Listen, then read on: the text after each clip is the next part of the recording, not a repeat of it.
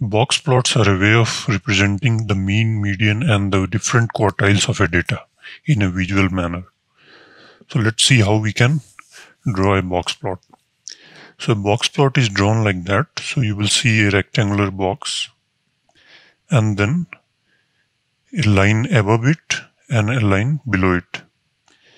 So in this diagram, this represents the maximum in the data. So we also call maximum as the fourth quartile and minimum. This is the minimum as the zeroth quartile as we had seen in the earlier video. And the scale is this way increasing. So if this is a value, let's say 10 here, then this will be a value greater than 10, maybe 100.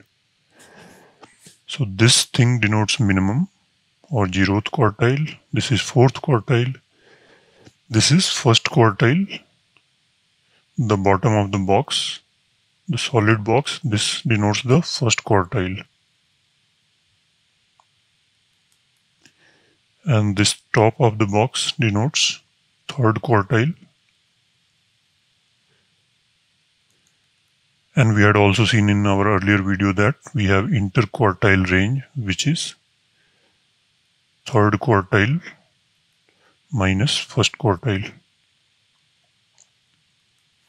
So this is our interquartile range, IQR. And this is the second quartile or median. So this is the median of our data. And this dot denotes the mean.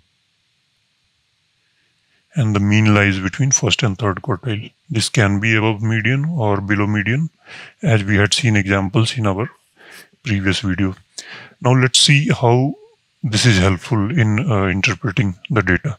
So one you can guess that by just looking at this plot, you get an idea of the various representations of various uh, measures of that, that given data just from this single plot. Now let's see an example where we are comparing uh, the student scores in a class in two subjects.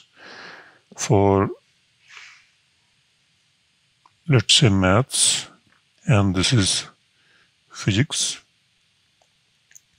And this is the scale. Let's say minimum marks is 0 maximum is 100 and in this maths the minimum was somewhere around here maybe 10 and maximum was around 95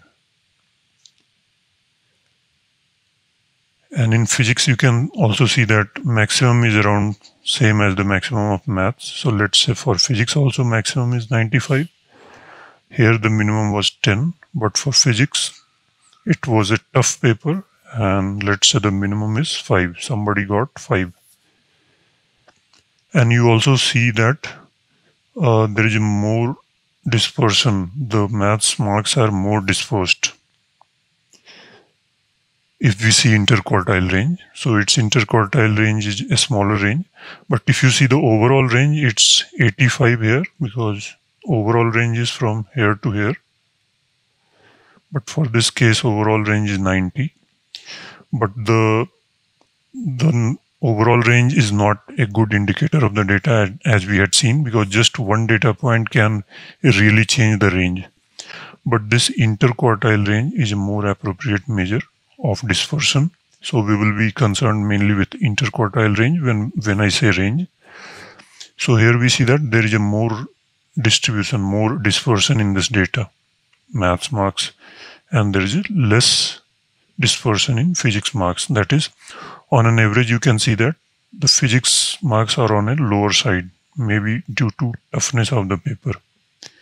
So let's say this is 50 and this is uh, 15, this is 20, and this is 80. So interquartile range of maths is 60. For physics, it's 35 so it's more dispersed and here the median score is quite low you can see here it's somewhere around uh, 40 not 40 even 30 maybe 32 and here it's close to 50. So the median score of maths is 50. For physics, it's 32. But somebody got uh, higher marks also. That shifts the mean above median.